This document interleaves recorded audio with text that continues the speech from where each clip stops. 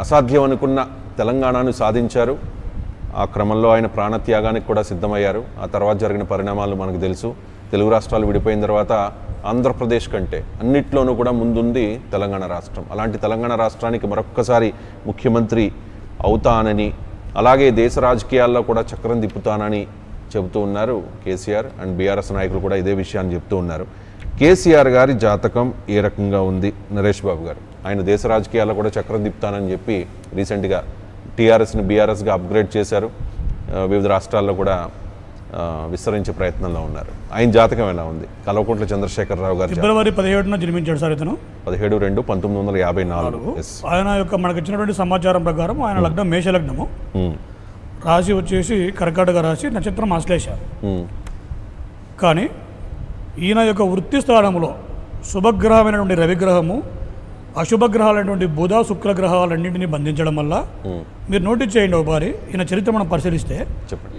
పంతొమ్మిది వందల ఎనభై మూడులో ఒక మొదట్టమొదటిసారిగా ఎన్టీఆర్ సీనియర్ ఎన్టీఆర్ గారు పార్టీ పెట్టినప్పుడు మొదటి ఎన్నికల్లో ఓడిపోయిన తర్వాత మళ్ళీ ఇమ్మీడియట్గా ఆరు నెలలకు మళ్ళీ బై ఎలక్షన్స్ పెట్టినప్పుడు అప్పుడు గెలవడం స్టార్ట్ చేసినాడు ఇంతవరకు ఆయన ఓటమి లేదు. ఆ సౌండ్స్ ఆపండి అక్కడ.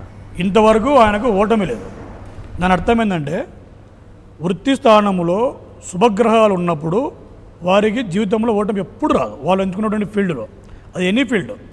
ఆ విధంగా ఈయనకి వృత్తి స్థానంలో రవి అనే శుభగ్రహము రాజగ్రహం ఉండడం వల్ల ఎప్పుడు ఓటమి పొందడు.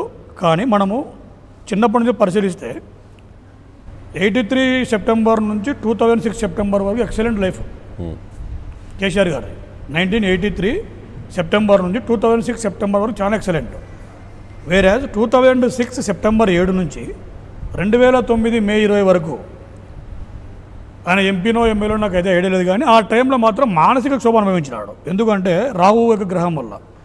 మళ్ళీ అదేవిధంగా రెండు వేల తొమ్మిది జూలై నుంచి రెండు వేల ఇరవై నాలుగు సెప్టెంబర్ వరకు నెక్స్ట్ ఇయర్ సెప్టెంబర్ వరకు ఆయనకి గురుదశ జరుగుతుంది అద్భుతంగా ఉంది. ఏమంటే చిన్న మైనస్ ఏమంటే శని గోచారం ఉంది. శని గోచారం ఒక్కటి తప్ప ఆయన యొక్క మళ్ళీ ముఖ్యమంత్రి కావాలంటే కూడా డిస్టర్బ్ చేసే గ్రహాలు అయితే ఏం లేవు.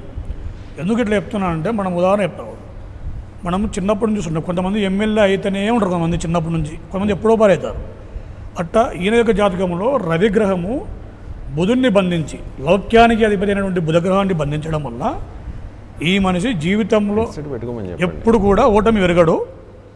రెండు వేల ఇరవై నాలుగు మే వరకు అయితే అద్భుతంగా ఉంది. కానీ ఒక సమస్య ఏమంటే గోచార శని. గోచార శని వృత్తి స్థానంలో ఉండడం వల్ల అదొక్కటి వాళ్ళు చూసుకొని దానిపైన రెమెడీ చేసుకుంటే ఈయనకు తిరిగేలేదు. One of the best horoscope ఉన్నటువంటి అంటే ఏ డిస్టర్బెన్స్ లేవు ప్లానెట్స్లో అది. డాక్టర్ తోట చంద్రశేఖర్ గారు. తోట చంద్రశేఖర్ గారి గురించి అందరికీ తెలియదు అనుకుంటా బహుశా. ఆయన గురించి కొన్ని మాటలు చెప్తా